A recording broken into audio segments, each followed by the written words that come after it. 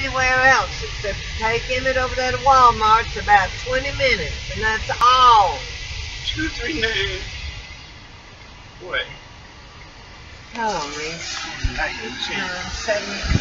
I can't even think.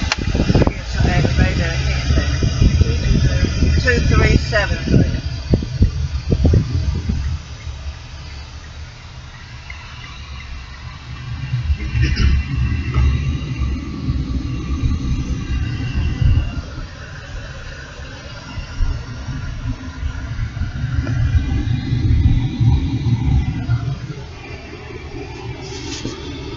That's You need to get you a chauffeur just to take you all over.